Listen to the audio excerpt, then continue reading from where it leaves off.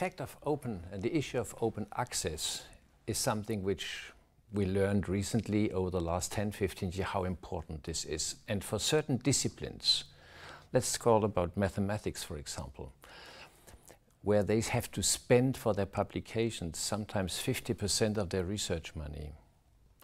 This is, of course, an enormous burden, and we have to talk about this issue. It's different in my faculty in medicine, for example. Here, the proportion is, of course, much lower because we get more research money.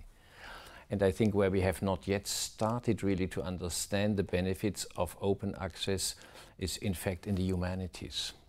Here, I think we have a long way still to go, but we have to start today if we want to be there in a couple of years. So I think it's of utmost importance.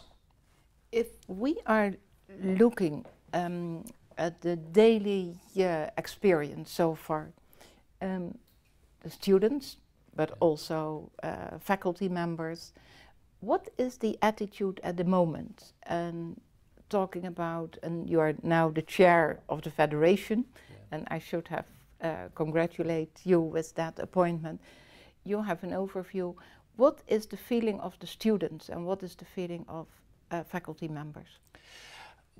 I think it's still a big difference. Um, for example, in medicine, the students don't care so much about the issue. It's different in natural sciences, I think, and it is not an issue, I don't think, in the humanities. Professors, on the other side, the faculty, they are very concerned in natural sciences, and they really protest uh, and try to get their rights back from the publishers.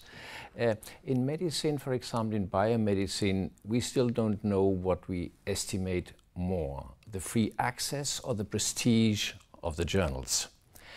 And in humanities, there is still an enormous fear that, um, uh, that this movement will disturb their rights and their individuality when they talk to the publishers and things like that.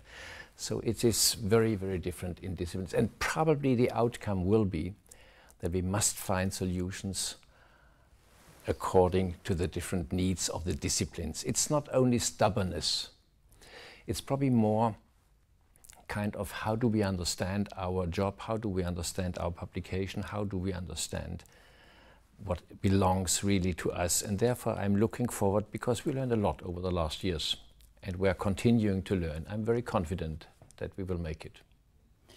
For the European Commission, and uh, for me as uh, the Commissioner for the Digital Agenda and also um, responsible for quite a bit of um, money to spend in research and innovation, um, it is always a point how can I explain to the taxpayer, so to say the European citizens in the street, why we are spending the money, how we are spending the money, and what is in for them. And there is a good story. What would you explain to the European taxpayer? What is at stake? First of all, I believe that intellectual ownership is as important as material ownership. Um, and therefore, we have to protect this intellectual ownership, but at the same time, allow access for the researchers to get rapid access to what they need. And one has to admit that in many research areas, paper reading is decaying, is going down, whilst the usage of internet is, is getting more and more the normal issue. Or, for example, some professions like journalists, they have at least three desks. And how should they afford to buy the same book three or four times in order to be able to, to work at these places? So we must understand that there's a, a real need there, and at the same time, there are very good reasons to protect intellectual ownership but as I said before, we have to think about it and we will find solutions. Coming back to the open access, for what is stimulating in such a policy is that it could flavor a lot of next activities with that type of policy. Yeah. And what is your expectation? Is it going quicker than what we were used to? Is it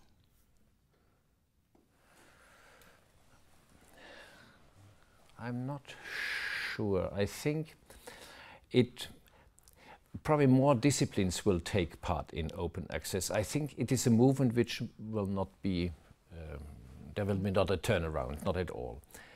Um, if, if, if it will be speedier, it depends a little bit how the young generation who is now entering the research is coming in and yes, the first answer could be it will be more speedy because the young generation is dealing with those issues much much less complicated than my generation is doing that. This is probably true, but even more important is to take care of the intellectual property that should, this, this must not be lost in the core. Otherwise, if intellectual property is not respected properly, this could be an enormous drawback for this movement, which is good for science. But here we must find a, a very intelligent balance, a lot of thinking. What is your experience and what is your wish in this? Uh, this movement, Europe taking the lead and combining it with your uh, requirements to yes. say, but then you have to uh, to organize and to regulate and to make an implementation cadre in which it is secured that the intellectual property rights are guaranteed. Are we taking the lead? Do you think that um, that is yes. that we should be um, even more advanced in our uh, policy? I think academies could be of help. In the beginning of open access, for example, my academy has been very instrumental, and they should play this role now and on a pan-European level.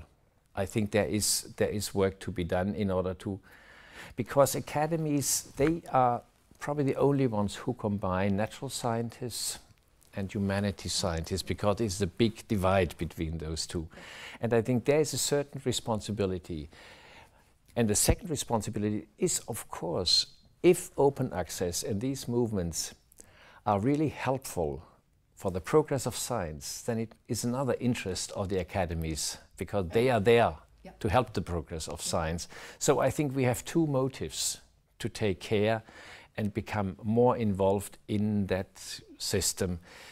And number three, to protect, to protect, which is probably the most prestigious intellectual property for our people. That we are caretakers for this, I think, is another motive why academies should and could easily come into this game. You are a professor of medicine. Um, what will the future be of the availability of data and articles on the health uh, research uh, uh mean for uh, your discipline? and for your students and for the industry, for it's yeah. all connected. The working surrounding will still change. Um, I think what is already now available that the doctor standing at the bed of the patient, he already has his ad hoc information there and this will increase.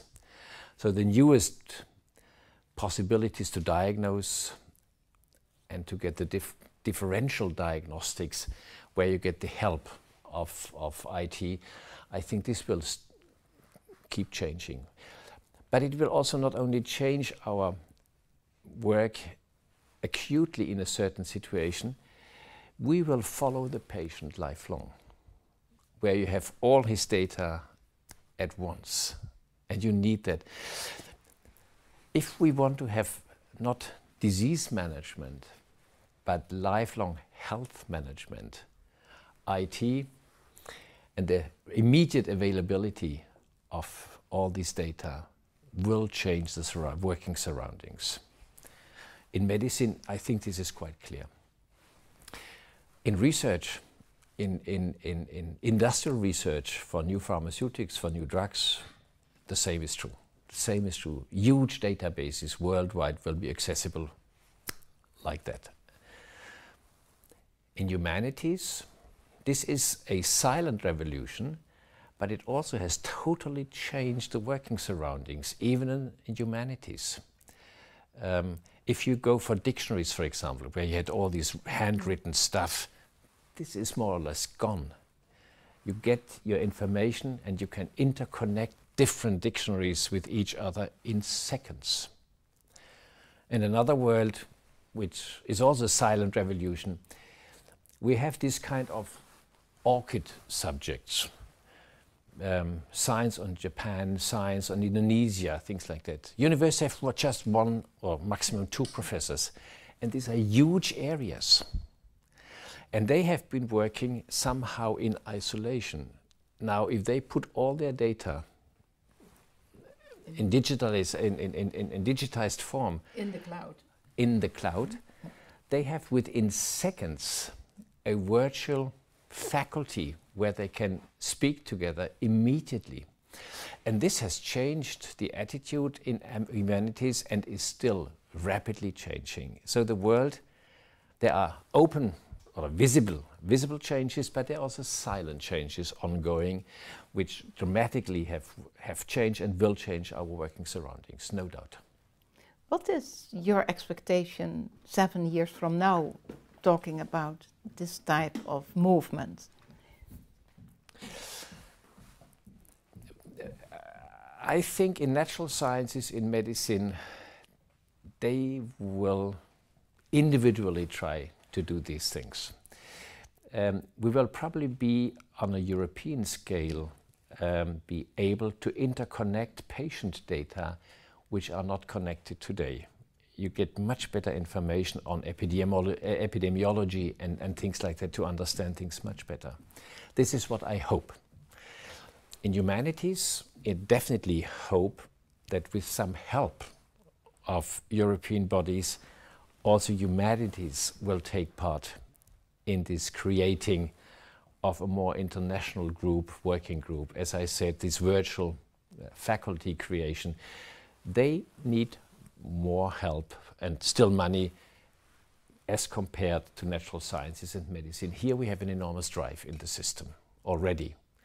Here in the humanities and social sciences, where we also need huge data sets, here we need a little bit of top-down help in order to, to ensure that they do the right things.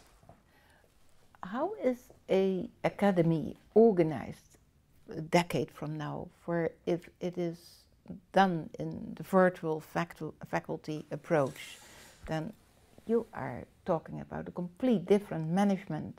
Yes, the, work, the working places will be different. Yeah. They will live in a virtual surrounding, yeah. number one.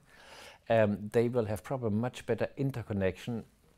Not we, we do this infrastructure research, long-term provision of, of data sets, but there will be a much closer interaction with the acute and, and uh, short-term research activities. We will probably have many more young people working in close connection with our infrastructure and databases.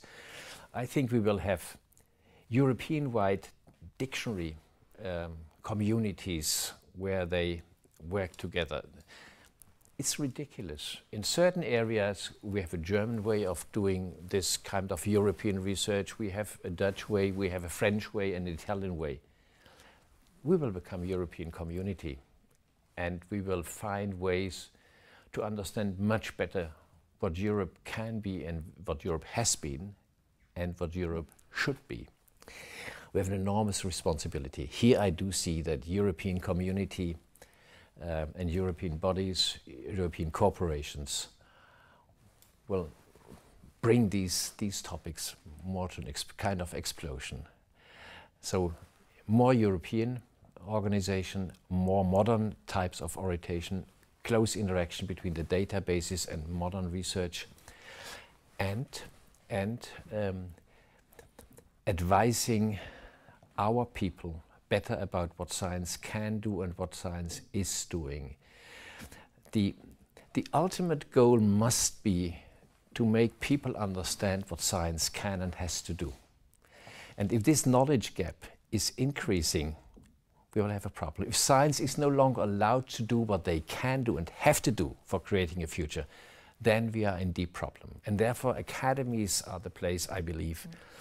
where we have to help society to understand. And in some cases, even politicians will ask yeah. the advice. Yeah. But my primary goal is that societies become learning societies with the help of us and with the help of internet and all those. We need all tools. It's no longer the big professor who gives a talk and then hopes that everybody understands. We need all means in order to get across what science can do and how science is enabling an interesting future. Thank you very much for this discussion.